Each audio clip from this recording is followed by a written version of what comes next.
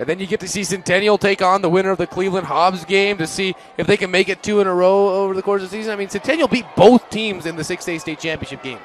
Nice steal there by Amaya Brown. Oh, nice move by Brown. Layup is up and good. Amaya Brown waited until Romano went by. Nice fake there by the freshman.